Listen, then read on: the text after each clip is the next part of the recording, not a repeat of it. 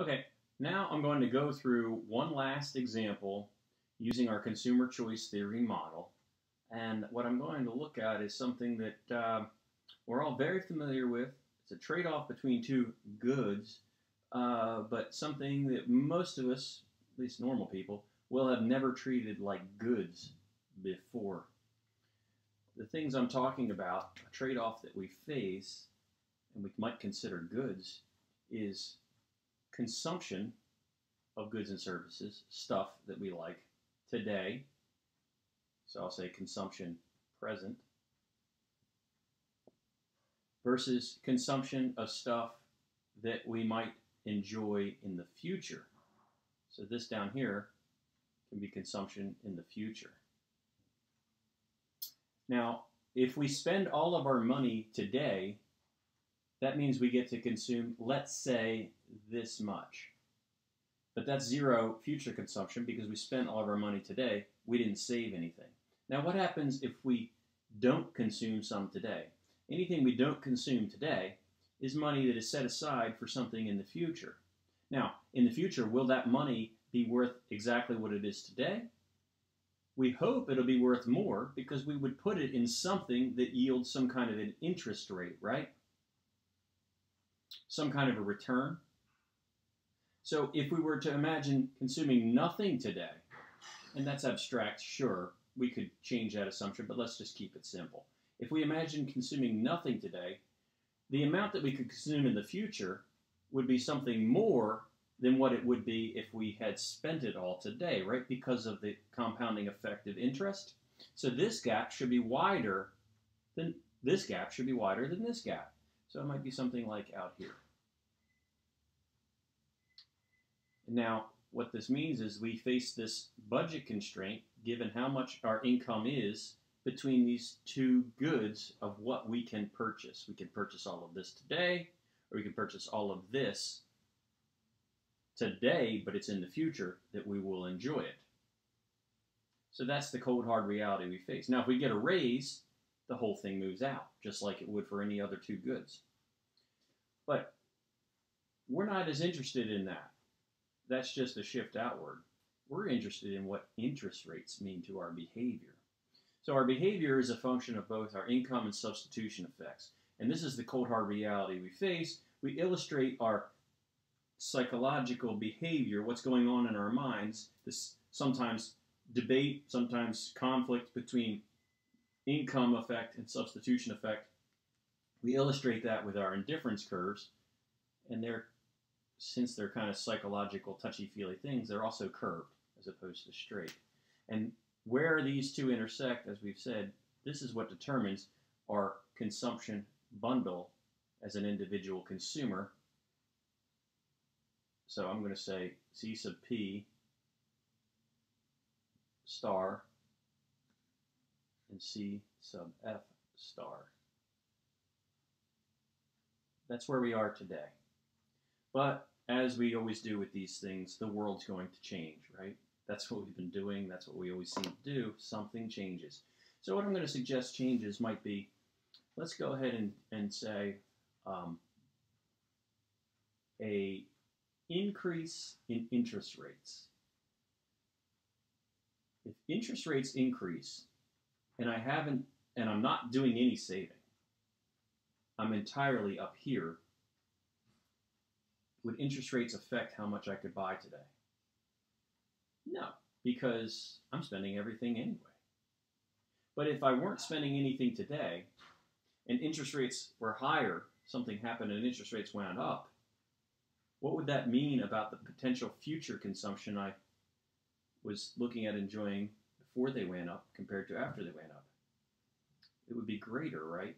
Because now those higher interest rates are going to result in greater potential con future consumption.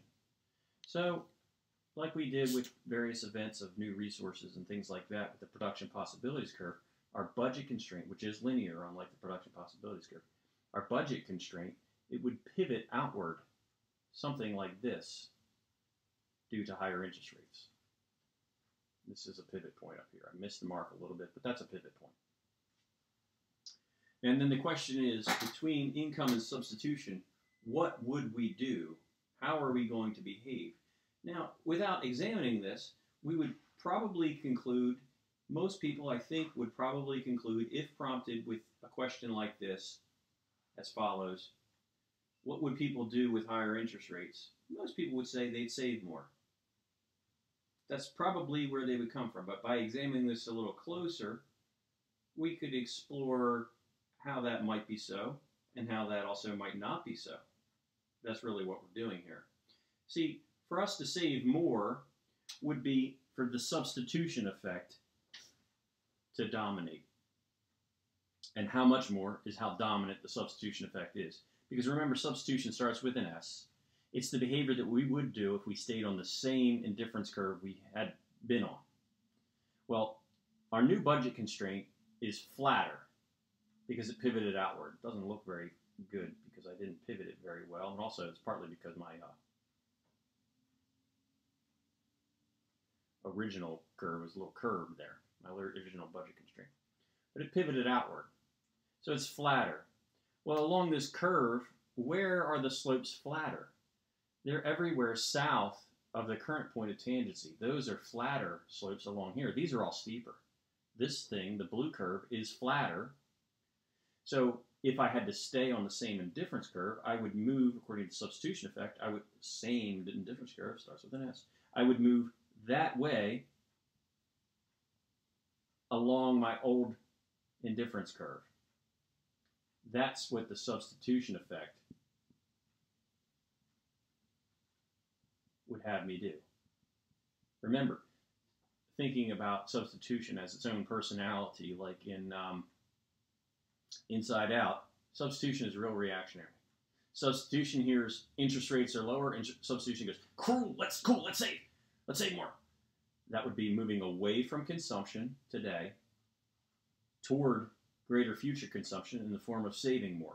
If you're if you're reducing your consumption today, by definition, you're saving more because the income, the disposable income that you and I have, that we don't spend, by definition, we're saving.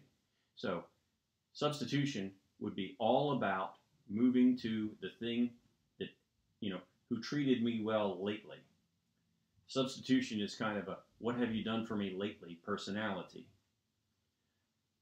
Income is a little bit more objective. Income is all about moving to the other budget constraint.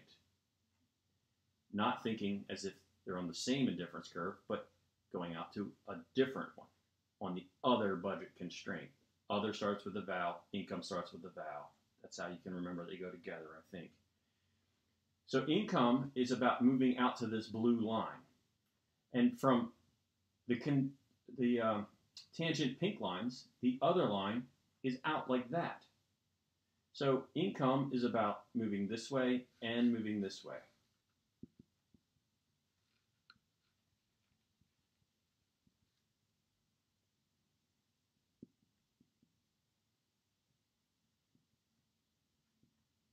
So income and substitution are in agreement about greater future consumption.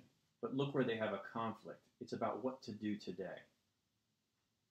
So if in this conflict, income wins, you might see saving remain exactly the same as it was. Perhaps we could say we would move out a little bit on future consumption because of the interest rate effect. But the interesting thing, I think the interesting thing, is that we could see an outcome such that consumption today rises with the higher interest rates. This may stay the same, this may move out some, but if income wins the day, we could see consumption today rise due to the higher interest rates, which is not the immediate thought that most people would have about what higher interest rates would do. In other words, the person for whom this is true says, consciously or subconsciously, wow, with these higher interest rates, I can be sure that my future is secure so I can go ahead and spend more money now. That's the income effect being dominant. If the income effect is extraordinarily dominant, future consumption could actually fall. Um, what that would have to mean would be that future consumption is an inferior good because with this newfound income, the higher interest rate, they purchase less of it. And that's not very uh, plausible, but it's not impossible. So I hope you found that analysis and a little bit more in-depth thinking about the trade-offs we face between consumption today and consumption in the future as interesting as I did.